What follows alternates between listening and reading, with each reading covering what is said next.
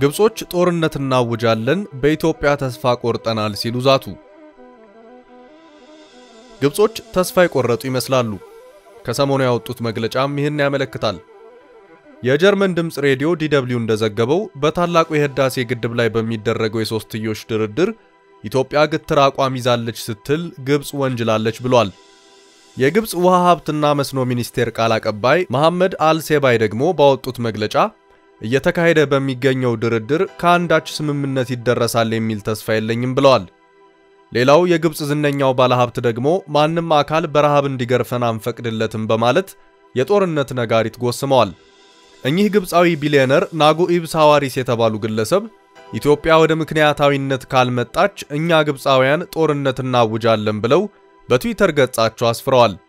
ግብፃውያኖችም በደስታ የባለ ሀብቱን ሐሳብ share ሲያደርጉና ሲደግፉ ታይተዋል። የኢትዮጵያ ተደራዳሪዎችም ግብጾች ነገሩን ወዳልተፈለገ ነገር ለመውሰድ እየሞከሩ ነው በማለት ጠቅሰዋል። እኚህ የጦር ክተት አዋጅ የጠሩት ባለ ሀብት በግብፅ የኦራስኮም ቴሌኮምና ሌሎች በርካታ ድርጅቶች ባለቤት ናቸው። ከዚህ ጋር በተያያዘ የተወዳጇ አዲስ አድማስ ጋዜጣ ጋዜጠኛ ደረጀ በላይነህ የግብፅ ዘፈን ሁሌም የኔ ናይል ወይም የኔ አባይ ሲል የጻፈውን ጥብቅ መልእክት ወደ እናንተ እናደርሳለን። የግብፅ ዘፈን ሁሌም የኔ ናይል በደረጀ በላይነህ ለሺህ ዓመታት የሃይድሮ ፖለቲካ መናኸሪያ የሆነው ናይል በግብፅ ምድር እንደ ውሃ ብቻ ሳይሆን እንደ አምላክ፣ እንደ ውበት ምንጭ፣ እንደ ሰውና አማልክት መስተጋብር ጣቢያ ሲታይና ሲዘመርለት ሲዘፈንለትም የኖረ ነው። ስለዚህም በደረቅ አፍ የሚጠራ ሳይሆን ቅኔ የጠገበ ቁጣው የሚያስፈራ ተደርጎ ሲነገር ዘልቋል። በእርግጥም ናይል ለግብፅ ሁለንተናዊ ስልጣኔ ሚናው ታላቅ ነበር። ስለ ሰማይ ጥበብ፣ ስለ ጨረቃና ከዋክብት ጥናት፣ ስነ ከዋክብት መነሻ የሆነ እስከ ዛሬም ድረስ ዕውቀት ጠገብ ያደረጋቸው ይሄው ተፋሰስ ነው። እስከ ዛሬ ቱሪስት ሳብ የሆኑ ፒራሚዶችም የናይልን ተፋሰስ ተከትሎ በመጣ የስልጣኔ ዳና የተፈጠረ ነው። ጸሐፍት እንደሚሉት የቀደሙ ግብፃውያን ናይልን እንደ አንዳች ተአምራዊ ክስተት ይቆጥሩት ነበር። የዓለም ስልጣኔ ላይ የተጻፈ መጽሐፍ World Civilization ይላል። በመሆኑም ለናይል ብቻ የሚቀኙት ቅኔ እንደነበር የታሪክ ድርሳናት ይነግሩናል። Adoration to Nile Hail to thee O Nile who manifest thyself over this land and comes to give life to Egypt። ይሁንና ይህ ግብፅ ላይ ዘውድ ደፍቶ የነገሰው አባይ መነሻና ምንጭ የሆነችው ኢትዮጵያ ላይ ያን ያህል አግራሞትና አድናቆት አልተፈጠረም።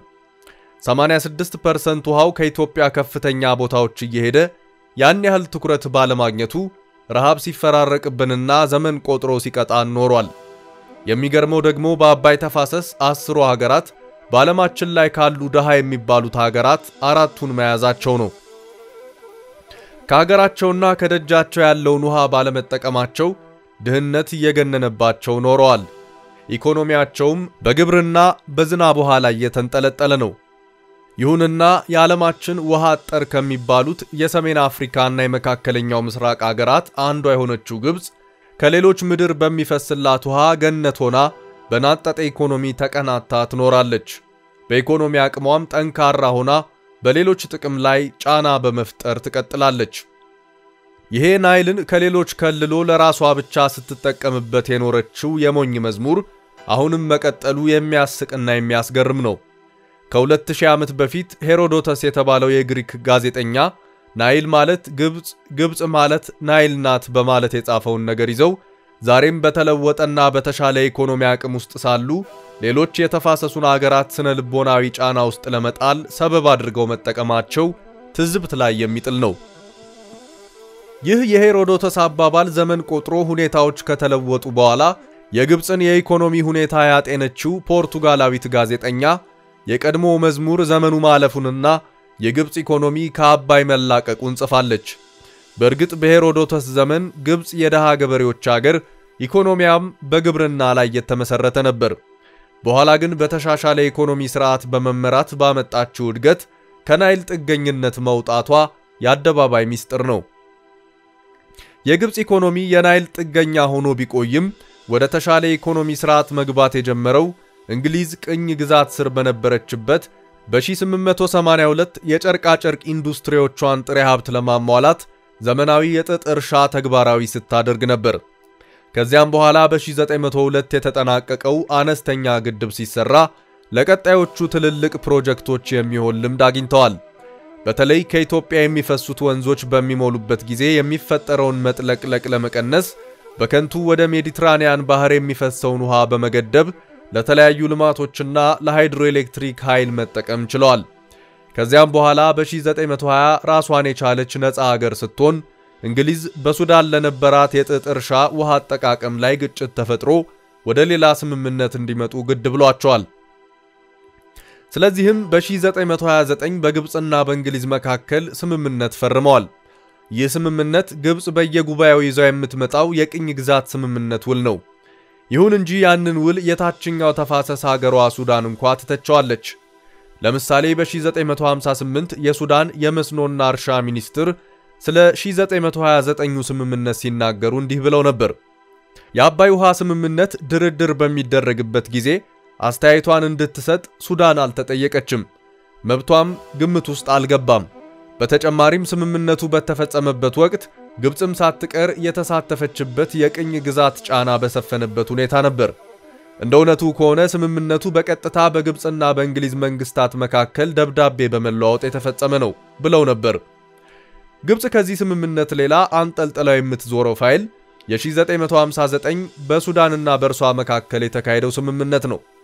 ይሁንና ለሱዳን ቀደም ካለው ስምምነት የተሻለና አንጻራዊ ፍትሐዊነት የነበረው ነው። ግብፅን በኢኮኖሚ የበላይነት ወንበር ያፈናጠጣትና ብቻዋን ዘውድ ልጫን ያሰኛት በሶቪየት ኅብረት እርዳታ የሠራችውና በ1970 የተጠናቀቀው የአስዋን ግድብ ነው። ከዚህ በተጨማሪ የውጭ ምንዛሪን ሚዛን ለመጠበቅ የስዊዝ ካናል ገቢም የራሱን አዎንታዊ ሚና ተጫውቷል። ካናሉ ሲከፈት እንግሊዝና ፈረንሳይ ለ100 ዓመታት በነፃ ይጠቀሙበታል የሚል ውል ቢኖርም ከግብፁ አብዮት በኋላ በ1954 በመንግሥት ተወርሷል። በአካባቢው የነዳጅ ምርት መተላለፊያና ሌሎች የምዕራቡ ሀገራት ጥሬ ዕቃ ማመላለሻ በመሆን ገቢው ከፍ እያለ ሄዷል። የግብፅ የኢኮኖሚ ሂደቶች በአጠቃላይ በአምስት እንደሚከፈሉ አቶ ግርማ ባልቻ በሚከተለው መልክ አስቀምጠውታል። ከ1952 እስከ 1967 ታላላቅ የማምረቻ ድርጅቶች የብረታ ብረትና ኬሚካል ኢንዱስትሪዎች በመንግሥት ቁጥጥር ስር የነበሩበት፣ ከ1967 እስከ 1973 የጦርነት ኢኮኖሚ የነበረበት፣ ከ1974 እስከ 1981 የግሉ ክፍለ ኢኮኖሚ ነፍስ የዘራበት ኢንቨስተሮች የገቡበት፣ ከ1982 እስከ 1990 የውጭ ብድር ጫና የነበረበት የፓሪስ ክለብ ዕዳ ቅነሳ ያደረገበት ከ1991 እስከ 2007 የዋጋ ቁጥጥርን ማላላት፣ ድጎማን መቀነስ፣ የዋጋ ግሽበትንና የታክስ መጠንን መቀነስ፣ ማክሮ ኢኮኖሚውን ማረጋጋት፣ የነፃ ገበያ እንቅስቃሴ፣ ከመንግሥት ተጽዕኖ ነፃ መሆን። ግብፅ የአስዋንን ግድብ ከሰራች በኋላ ኢኮኖሚዋ ተስፈንጥሯል። ከዚህም በኋላም ትልልቅ ግዙፍ የልማት ፕሮጀክቶች በተለይም የቶሽካ ፕሮጀክት አምስት ፕሮጀክቶችን ገቢራዊ ለማድረግ ሰርታለች። ከነዚህ አምስት የልማት ብሎኮች አራቱ ብሎኮች 50% የውሃ አቅርቦት የሚያገኙት ከናይል ተፋሰስ ሀገራት ነው። ልማቱም የተከናወነው በሦስት የአስተዳደር ክልሎች ማለትም በፖርት ሳይድ፣ ኢስማኤል እና ሰሜናዊ ሲናይ ነበር። አምስተኛው ብሎክ ግን በግዛት ክልሉና በባህሪው የተለየ ነበር። ዓላማው የኢኮኖሚ ልማት ቢሆንም ሌላም የፖለቲካ ዓላማ ያፈናጠጠ ነበር። በዋናነት የእስራኤልንና የፍልስጤምን የውሃ ችግር የመፍታት ሐሳብ ያለው ቢሆንም በሌላ ጎኑ የናይልን የውሃ ጥያቄና ግጭት ወደ መካከለኛው ምስራቅ ማዛመት እንደነበር ጸሐፍት ያውሳሉ። ይሁንና ለዚህ ፕሮጀክት ኢትዮጵያ ያሰማችው ድምፅ ከምንም አልተቆጠረም። ግብፅ በየትኛውም አጋጣሚ የድሮ ዘፈኗን ናይል ማለት ግብፅ፣ ግብፅ ማለት ናይል እያለች መዝፈን ነው። ከዚያ ሲያልፍም ከግብፅ ላይ አንዲት ጠብታ ውሃ ቢነካ ጦር እንሰብቃለን ወደሚል የማያዋጣ መንገድ መሮጧን አልተወችም። በየድርድሩም የተለመደውን የ1929ና የ1959 ስምምነት ይዛ ትሮጣለች። ካሉት ዘጠኝ ያህል ዓለም አቀፋዊ መርሆች በተለይ ቀድሞ የመጠቀም መርህን በመጠቀም ከኛ ያልተረፈ ውሃ ማንም ሊጠቀምበት አይችልም በሚል ያረጀና ያፈጀ ዘፈን ይዘፍናሉ። በመላው ዓለም የውሃ አጠቃቀምን በሚመለከት የላይኞቹ አገራት የታችኞቹን ይጨቁናሉ በሚል የተደረጉትን ስምምነቶች የግርምቢጥ ዘቅዝቀው ጭራሽ በላይኞቹ ላይ ቀንበራቸውን መጫን ይፈልጋሉ። በዚህም የተነሳ ብዙ ጊዜ ተፋሰሱን አገራት በጦርነት ዛቻ ለማሸማቀቅ ትፈልጋለች። በኢትዮጵያ ላይ እንኳን በተለያዩ ጊዜያት የዛቱትን ዛቻ ማስታወስ ይቻላል። በቀጥታና በተዘዋዋሪ ለማሸማቀቅ ሞክራለች። ለምሳሌ በ1950ዎቹ ታላቁ የአስዋን ግድብ ሲገነባ ንጉሥ ኃይለ ሥላሴ ስለ ጉዳዩ የመንግስታችን አስተያየት መጠየቅ ነበረበት ስላሉ የገማል አብዱል ናስር መንግስት ካይሮ ላይ በአማርኛ ቋንቋ አቋቁመው በንጉሱ ላይ የጥላቻ ፕሮፓጋንዳ መንዛት ጀመሩ። በተለይ የእስልምና እምነት ተከታዮችንና የዘውዱን መንግስት ተቃዋሚዎች በማሰለፍ መንግስትን ለመገልበጥ ሴራ ሲረው ነበር። በዘመነ ደርግም በ1977 ዓ.ም ጥቁር አባይና ጣና ሐይቅን በሚመለከት መንግስት ጥናት እንዲደረግ ጠይቆ በቀድሞዋ ሶቪየት ኅብረት ጥናት በመካሄዱ የግብፅ ፕሬዝዳንት አንዋር ሳዳት የጦርነት ቀረርቶ ለማሰማት ሞክረዋል። ሰኔ 5 ቀን 1980 ዓ.ም በሳዳት የሚታዘዝ ሁለተኛ ክፍለ ጦር ለውጊያ ዝግጁ እንደነበርም ተነግሯል። ሳዳትም በንግግራቸው እንዲህ ብለው ነበር። ሕይወታችን መቶ በመቶ በአባይ ውሃ ላይ ያረፈ ስለሆነ ሕይወታችንን ለማጥፋት የሚሞክር ማንም ይሁን ማን በጦር ኃይል እንቋቋመዋለን። ምክንያቱም ለኛ የመኖር ወይም ያለመኖር ጥያቄ ነውና ብለዋል። እውነት ለመናገር ግን ግብፅ ያለ አባይ አትኖርም የሚለው የጥንት ዜማ ይሰራል ወይ ብሎ መጠየቅ ያስፈልጋል። ይሁንና ታሪክ ሲፈተሽ ነገሩ ውሃ የማያቁርና በተጨባጭ እንደ ተረት የሚቆጠር ነው። ስለዚህ ጉዳይ አቶ ግርማ ባልቻ የተባሉ ጸሐፊ ጉዳዩ ያረጀና ያፈጀ እንደሆነ በግልጽ አስቀምጠዋል።